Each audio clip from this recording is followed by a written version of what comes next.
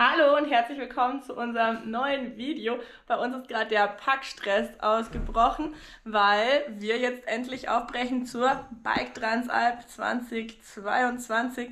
Und ja, eigentlich braucht man gar nicht so viel Zeug, aber das muss wohl überlegt sein, weil so viel Platz hat man auch wieder nicht. Und man möchte auch nicht seinen ganzen Hausstand mitnehmen, weil man das sonst jeden Tag wieder in die große Tasche reinpackeln muss.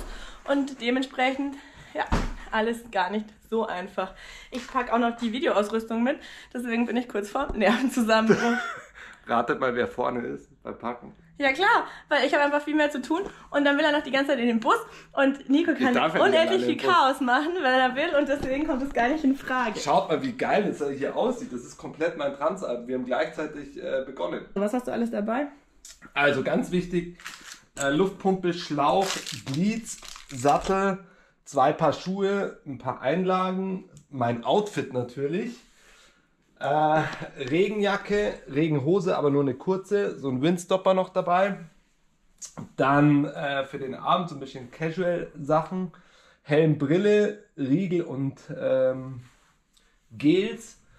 Und halt für unters Trikot so drei, vier T-Shirts, eine Windstopper Weste noch. Wenn es kalt wird, ein Vlies noch. Äh, hier habe ich noch zwei, drei äh, Hosen dabei. Äh, ein paar Socken. Rei in der Tube, mega gut, immer, muss immer mit. Sonnencreme muss auch immer mit. Und natürlich Creme für den Hintern, weil wir viel im Sattel sitzen werden. Genau, und eine Übershort habe ich noch dabei, die ich auch anhabe.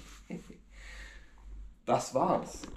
Ja, bei mir ist es leider noch nicht so geordnet. Ich habe noch das totale Chaos und brauche halt, wie gesagt, auch noch die ganze Kameraausrüstung. Aber ich bin auch beim Wuseln, so ist es ja gar nicht. Und da hinten ist dann noch der Transportkoffer für den Laptop. Juhu, drück mir die Daumen, dass ich das noch schaffe.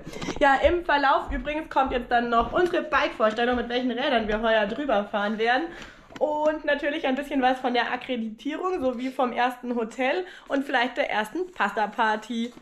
Stay tuned. So schaut's aus. Bist du fit?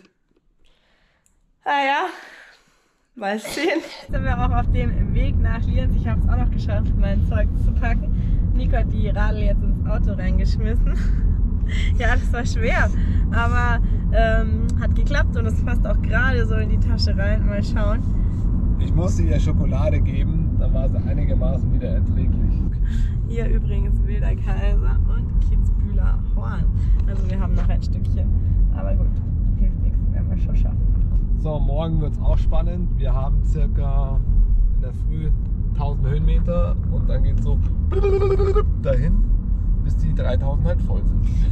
Und er sagt die ersten zwei Stunden noch Sonne an und danach Regen. Und wir haben erstmal 1000 Höhenmeter Uphill eben und dann geht's in den Trail rein. Deswegen schaffen wir den hoffentlich noch trocken. Wenn der Wetterbericht recht hat, soll sich das ausgehen. Lienz angekommen, geparkt haben wir auch schon mal.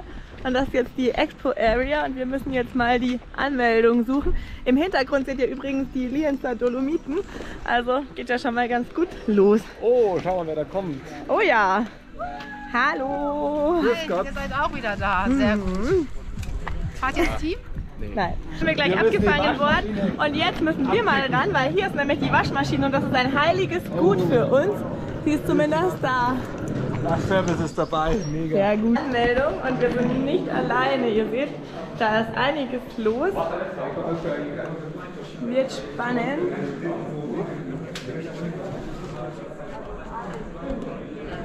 Damit ihr mal ein bisschen ein Feeling bekommt. Werden die Taschen abgeholt und das sind dann die Daily Bags. Die sind quasi Gold wert im Verlauf des Rennens. Aber Bike ist schon wieder bei den Scotties, kriegt jetzt nämlich noch den SQ-Lab Lenker drauf. Und dann kann es morgen auch so richtig losgehen. Wir haben gerade schon rausgefunden, bis wann wir die Taschen abgeben müssen. Und wer bist du denn eigentlich? Ich bin der Alex Ja, aus Alex. Mittenwald. Oh, sehr cool. Frank ist auch schon da.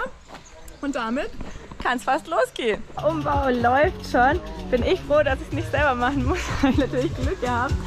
Und ja, ihr seht, fachmännisch. Frank kriegt noch ein bisschen Luft. So hat jeder irgendwie noch seine letzten Hast du jetzt. Luft aufgenommen oder wie ist das? Wer bist du denn? Martin Engelbrecht. Ich komme Ja. aus äh, Karlsruhe. Der Martin, der hat letztes Jahr noch unsere Videos gesehen, hat er erzählt und jetzt bist du mit dabei. Das erste Mal. Und was gibt's da? Grüße an die Kinder. Äh, an meine Kinder, die sind in Deutschland verstreut. Äh, Berlin, Jena und Gießen. Und an meine Freundin, die ist in Ettlingen. Aber Oh, jetzt ist sie gerade in Brixen, die war heute rennen. Ah, sehr cool. Ja, dann hoffe ich, wir sehen uns auf der Strecke oder zumindest beim Start mal. Ganz viel Spaß, haut rein. Danke, gleichfalls. Deswegen müsst ihr euch immer gut überlegen, was ihr alles mitnehmen wollt, weil am ersten Tag gibt es noch keinen Gepäcktransport. Das wird die nächsten Tage dann aber besser.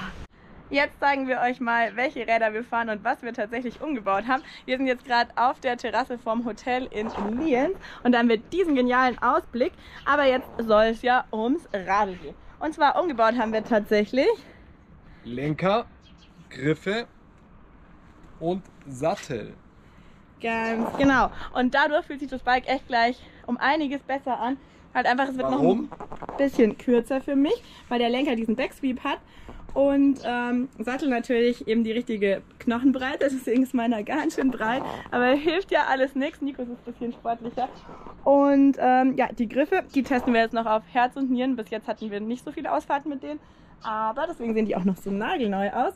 Äh, wir halten euch dann auf dem Laufenden, wie sich's anfühlt. Ansonsten sind wir heuer mit dem Scott Spark. Genau, 910 unterwegs und haben natürlich 12-Fach-Schaltung. Es ist super leicht. Äh, was hier auch noch ganz speziell beim Der Dämpfer ist Scott hier ist, unten drin. stimmt, der ist unter dieser Klappe hier versteckt. Die Klappe ist heilig, haben wir schon gehört. Da gibt's ein bisschen Lieferengpässe. Deswegen müssen wir besonders gut drauf aufpassen. Machen wir vielleicht nachher in Ruhe. Wobei, soll der Nico auch ein bisschen arbeiten. Nicht, dass der zu schnell wird morgen. Und ähm, was ich eigentlich noch herzeigen wollte, also auch noch spannend wahrscheinlich XT-Bremsen, 12-Fach-Schaltung eben. Datenblatt können wir euch gerne mal verlinken. Fox Factory 34. Aber jetzt habe ich vergessen, was ich eigentlich herzeigen wollte. Die Reifen, die Nee. sind schwarz. Die wollte ich aber nicht Den zeigen. Sattel.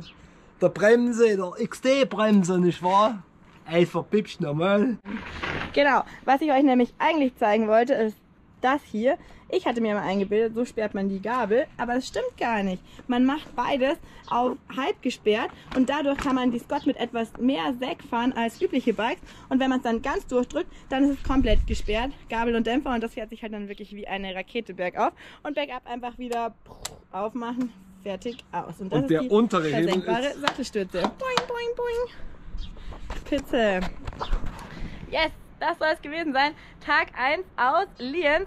Morgen in der Früh um 9 ist der Start. Taschenabgabe bis halb 8. Mir graust schon. Und mit einem Schwenk über die Dächer von Lienz verabschieden wir uns. Und vergesst nicht, jetzt gibt es dann sieben Tage am Stück Bike Transalp.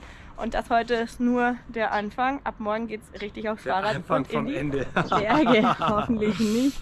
Das wird schon.